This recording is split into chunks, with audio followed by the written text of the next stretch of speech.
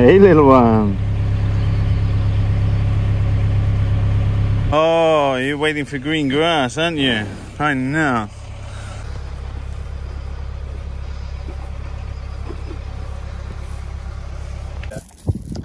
Just give it a bit more. Okay, white baskets, vole control. The boys have got a production line going. This is 1.2 feet, 5 meters long this way, a meter high. And we're trying to work out the best way to do it. We've got this little D-rings, or O-rings,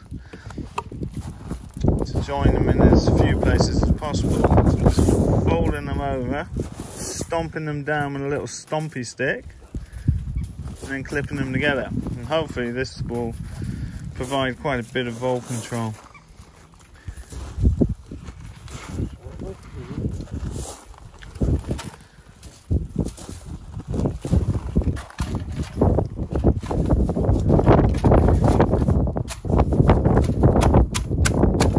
Very nice.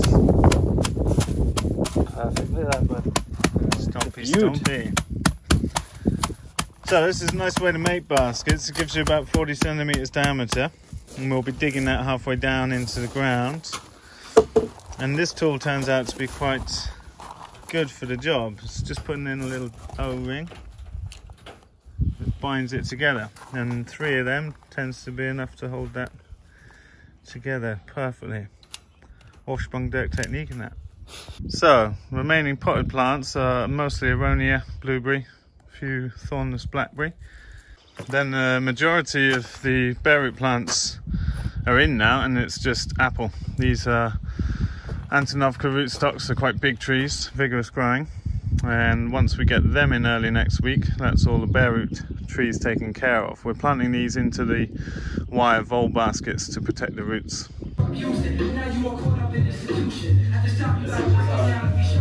What's the Easter feast? Tell us about the Easter feast. So it's Easter in Easter, Sweden. Yeah, yeah, yeah. Um, And uh, we eat pretty much the same thing every holiday, but there's some lamb. and then there's påskmust. Pugnas. This is like a, it's brewed, It's malt and uh, hops, and then there's different spices in. but it's like a cola. It's like a soda drink, right? Yeah, so Yeah. like, Drinking it's that sweet before. and uh, but a bit like beery and spicy. Hmm. Yum. Lamb, cabbage, mashed potato, no rotten fish. Perfect. Ragnar wants to scold too. No, he just wants to drink it. That's what I'm drinking.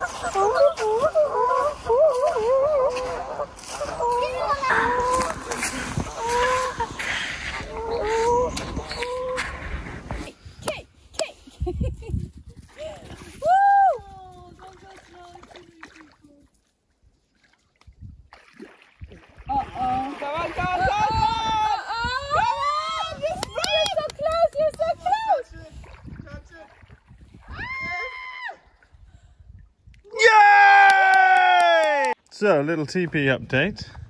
We're hoping to keep this open nearly all the time, but to prepare for high winds, I've had to come up with a solution. Now, the canvas doesn't actually reach the ground, and so the best solution I've come up with is putting down little webbing straps that you can tighten it down to the decking. And I've just put them in with pretty thick roofing screws. Seems to do the job well. We've had 15 meter a second winds with the sides up, and it's been no problem at all. Don't know if I like the fact that the canvas is up off the ground, but I can't imagine this going anywhere in strong wind. So that's the solution I came up with. I looked at uh, boat fittings, like eyelets that sit down flat so you don't trip on them. But you're looking at about 10 euros a piece, and there's 50, so that's obviously cost prohibitive. This was a cheap solution, and I think it will do the job pretty nicely. What I'm going to do now is lift it all back up again and take out these supporting poles. These are just loose and they hold the canvas out when the whole TP is up. But when we've got the witch's hat up, we don't actually need those and that clears a lot of the ground space for putting down tables, etc. Okay, so opening it back up, you can see what I mean about these inner support posts and I can take them away like this. That opens up a huge amount of space for tabling. So I'm going to do that and open it wide open. Now, like many small farms, we are maxing out electricity. We have bodge setups all over the place. I'm sure a lot of people can relate. We've got a 32 amp power uh, cable going to the slaughtery here. But the kitchen also runs on 32 amps, and so it's been a bit of an issue. Every time we've tried rearranging the plugs, fuses are tripping, but we've got a thousand birds in the brooder, as well as lights on in the nursery and a heater that we can't afford to go off. What I've done now is piggybacked off the front of the slaughtery, and I've managed to get the fridges and freezers and lights on without the fuses going deep freezers on. None of the fuses have gone, so that's success. Every year when we add new tools or anything like that, it becomes a little bit of a hodgepodge. And yeah, it's difficult. We are maxing out a very small rural property's electricity to run the commercial farm with loads of chillers and a slaughtery and a commercial kitchen, etc. It's pushing it, but there's not a lot we can do. We can't get much more power to the farm than we already have, but we seem to have got there. Another thing that's really pushing the electrics is we've got heaters in all the rooms for accommodations. And at this time of year, because we've got people here quite early and it's still cold, that's obviously drawing thousands of watts of power. But seems to be working today, which is fantastic. So I'm going to get the kitchen leveled up on some blocks. We'll get some gas for the burner tomorrow and hopefully we can transition over and start using that as our main kitchen. Oh, Johanna's been taking photos of Sacco because we have found two or three potential suitors so she can have puppies this year. Sacco, what do you think about that? You smell some deer or something? Ah, interesting. Imagine little Sacco's running around the farm. Everything goes good in the brooder definitely the temperature's got up okay. It's still cold and below zero every night, but birds are doing great. They're growing some. Very nice. So, everything goes well with the chickens. They're definitely out and about and adventuring. We're going to go minimal on the bedding if we can, because we want to we're hoping the birds come out pretty soon and that we get to planting this up as soon as we can. So we're just gonna go easy with the bedding and keep it light so we can till up beds and just plant straight into it. But they've got used to the routine and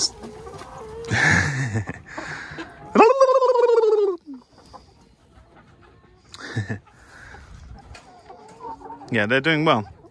It's not too hot in here, so it's working out okay. Our little tunnel seems to be holding up.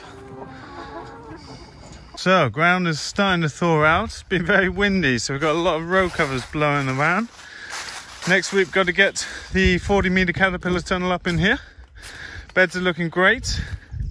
Nice clean start to the season. We've got a few things to come out soon and some direct seeding as well. So that's a uh, task for next week, get this tunnel back up. Brassica's hard enough.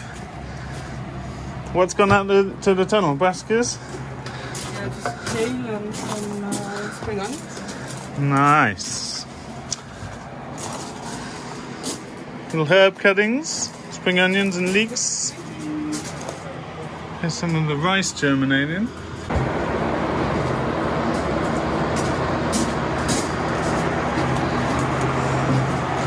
Selma, when are the first transplants outside? Uh, in a week. Last Week's month, time? Next Monday. Ooh, exciting. And direct seeding? Um, when we put the gasket on tomorrow.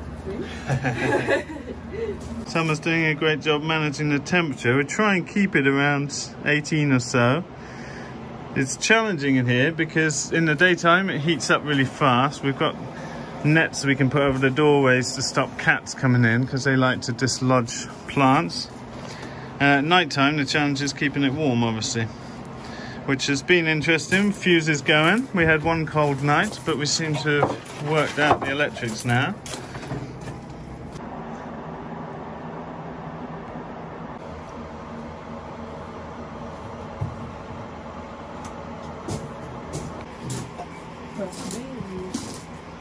First tomatoes, little Sungolds. Crazy seeing everyone's veg growing on Instagram. We're just getting started with tomatoes. So, lastly, I want to talk a little bit about the Ridgedale Builds book that's running on Kickstarter for seven more days. It's up at 260% funded, which means it's going to print. And people have been asking about the binding. We're going for hardcover binding, which will allow it to sit flat on a worktop. Spiral binding just won't work for a book this thick. People have asked if it's in imperial or metric. It's in metric. We use the English system. I was brought up using inches and feet and yards, but metric is much easier. Now, in the days of Google, it's very easy to convert measurements. Maybe it's a little bit painstaking, but for having a cut list and CAD design plans step by step, it's a small ask if you want to build any of the structures featured in this book.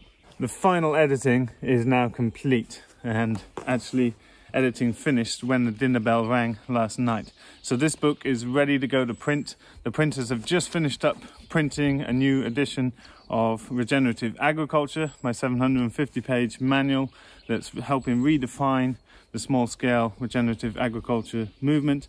This is another monster book and it's next on the printing list. Can't wait to see it out there and see people's builds. I think we'll run some competitions around some of the buildings in the future. It's going to be really fun to see. If you're not aware what's in this book, have a look on the Kickstarter in the top of the links below. There's 22 detailed projects, everything from our low-cost hernia-free broiler pens to our roller pens to the dollies to our slaughtery, our smokery. There's all the market garden infrastructure we've built and all the layer infrastructure uh, eggmobiles and nest boxes, etc. It's an invaluable guide if you're starting up with low cost, low tech diversified farming, this book will save you its cost many, many times over. Even if you were to build any one of the structures featured in this book, it's going to be a really good investment. I've had great feedback from the people who have been looking at it, who said it's extremely clear and easy to follow. And we've chosen nice big illustrations so that you can see it from the workbench without having to go up really close. It's got beautiful images of things being built and in use, so you can get extra details from the visual images of that. I'm really excited about it, folks.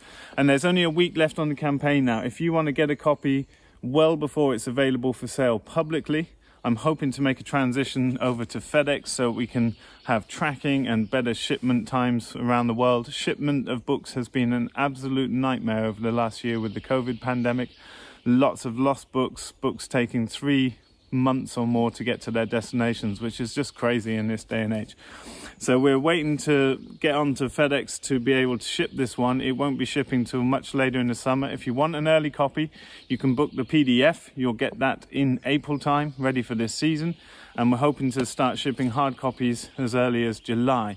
They won't be for sale publicly till we've dealt with all of those orders and set up the back end for the sales.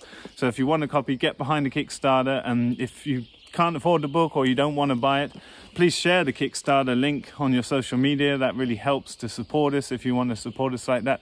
And I'd like to say thanks very much for watching, folks. Lots of exciting video content to come up in the coming weeks as we really ramp up the season. And I look forward to staying in touch with you through our updates.